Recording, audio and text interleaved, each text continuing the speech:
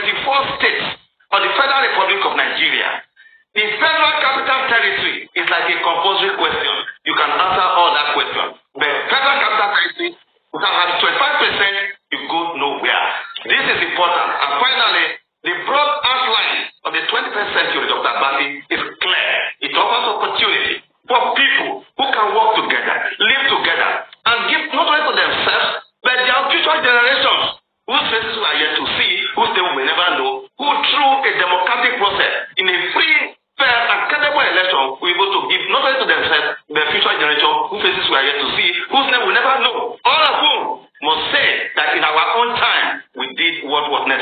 GRV reacts as former INEC rec says 25% in FCT is compulsory for a candidate to be declared president.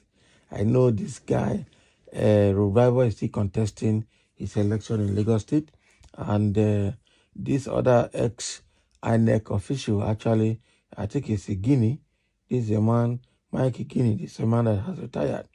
He said all of this, and the INEC chairman knows about it. Unfortunately, the INEC chairman happens to be another thief, okay, that has collected billions from Tinubu to do a dirty job for him. They will all, well, no matter how good Tinubu is, as long as he got there illegitimately by breaking rule of law, breaking electoral laws, he's not fit to remain there. He must leave for someone else to go. He has cheating and stealing tendencies. That is it. He's obviously corrupt in all his ways. Gbadebo Rhodes-Vivour, the candidate for the Labour Party in Lagos, as governorship candidate in Labour Party, in Labour Party, um, has responded to a statement made by Mike Igini, the former INEC resident commissioner for Akwa State. Igini stated that in order to be declared the winner of a presidential election in Nigeria, a candidate must have received at least 25% of the votes in the federal capital territory. During an interview on Arise TV, during an interview on Arise TV, Mike Igini emphasized that it is impossible to declare a candidate as the winner of a presidential election unless they have achieved a minimum of 25% of the votes in the federal capital territory. In response to the comment made by the former INEC resident commissioner, Gbadebo Rhodes-Vivour expressed that the 25% stipulation in the Federal Capital Territory FCT is ironic. It is already well known that Peter Gregory Obi, the presidential candidate of the Labour Party, was sole candidate in the federal, uh, the February 25 uh, presidential election to receive 25% or more of the votes in the FCT, as reported by the INEC uh, Commission. Mm.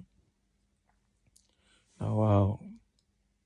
So Jerry B is saying here 25% in FCT is sacrosanct.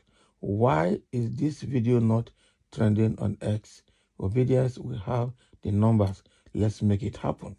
Okay? not be smart, you know. Dear valid readers, we highly value your okay. So that is exactly what is happening here. The video is actually uh, it's, it's, it's on Arise TV, and I know that obviously it will trend because that 25%, the lawyers know, the judges know, Supreme Court know, CJN knows, Attorney General Federation knows about it, all the electoral officers knows about it. The the matter is that the current INEC chairman, Mahmoud Yakubu, and Tinubu entered a bargain that is putting Nigeria into this trouble. I think that Mahmoud Yakubu is supposed to be in jail. Tinubu himself is not supposed to be seated there because he broke electoral laws to be there, and so he's not fit to be Nigerian president. That is the gospel truth about this thing. That is the obvious truth. Okay? It was only Peter Obi that got, I think, over is over 60 something percent of the FCT vote. Okay. So the question here is why, you know, why is Tinubu and uh, and uh, uh, INEC chairman doing all this, and why is judiciary keeping mum about it, trying to pass a judgment? I just hope that that judgment will not go south because um, with the delay they have made already in that judgment, it is obvious that they know the truth, and I just hope that they will not give APC the opportunity to go and alter that judgment. Okay, it is obvious um, that that election was mad and flawed by breaking the electoral laws. And it was Mahmoud Yakubu, the custodian of the electoral laws, that actually broke the laws for Tinubu because he collected billions. He will vomit that billions. That is the truth. Okay? The the it you turn bread of sorrow in his stomach. That is what the scripture said. When you eat bread of sorrow, you will not you will not live peacefully. So what he has taken will turn to bread of sorrow in his stomach because he looted Nigerians uh, Nigerians mandate and gave it to someone else who does not deserve it, who did not win it. That is it. So it must be recovered. Once it is recovered, there shall be no peace in INEC, there shall be no peace anywhere because it is absolutely unacceptable for what Mahmoud Yakubu did and what Tinubu did. And the same Tinubu, after stealing people's mandate, after breaking electoral rules and electoral laws, to rig himself there, wants to reinstate democracy in, in Niger and Gabon or anywhere. It's not possible now. He, the pot cannot call the kettle black. He had a democratic coup d'etat. That was what happened under him. The other was a military coup d'etat, while his own was a democratic coup d'etat. He cannot continue to remain there. Okay, and I'm sure that's the reason he's scared and afraid now as the rise, uh, um, okay, they're calling for rising call for military coup in Nigeria is getting higher, and the generals have also written to him.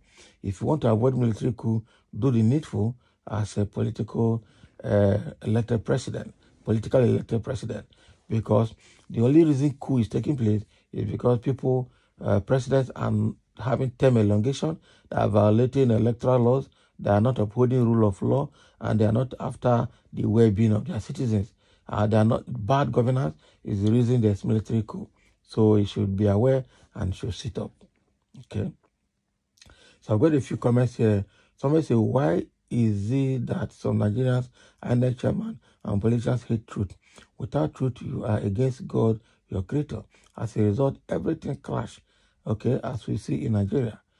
Nigerian governors are beaten by government agencies, INEC security agents, judiciary to be affirmed by result of the Presidential Election Petition Tribunal. And some Nigerians hit truth to Two, the end is justifying the means as we see in the economy of the nation. Exactly. Look at these frustrated people, not be only 25% now, and 95%. Can you imagine? All these are um, tribal bigots. 25% FCT is a compulsory question that must be answered. It is clear why the argument about it. That is it. Bro, it is sacrosanctly compulsory because it is the symbol for the country's unity. Okay? Another person saying which unity? Can you imagine? So these ones, and there's ones that they call themselves democratic, I mean. So if a man gets 25% in the FCT and lost the other states, he will still be the president, Tavi. There is always a, a, a, a judicial way to handle it. It's okay. There's always a judicial way to handle it. So let's watch how the tribunal will go. Hmm, there's nothing the devil cannot do. The devil is to steal, destroy, and kill. Nigerians wouldn't have been where we are now if men of integrity handle our election institutions. Okay? Very well without selling themselves to the power of money. Simple English. And we are in court to explain it. You don't have, um, uh, you don't have, you don't have, but you said you must own it by force. May God save Nigeria from people who want to rule Nigeria by force. We hope on God to survive. Hmm. The truth has been said. Okay? You got it all. Mr. Know It All you have come again. Okay? Can you imagine? They must insult people. All these agberos. Eh? The guy is an idiot. He doesn't know what he was saying. What has he done wrong? Uh, the guy has said it all, and he said the right thing. That is the truth. The people, the thing is for the judiciary to balance the to balance whatever is lacking. So thank you for listening. Let's have a comment over this uh, Mike Igini uh, statement or 25% FCT mandatory, be mandatory, and uh, Rose, uh, Rhodes-Vivour reacting to it as well.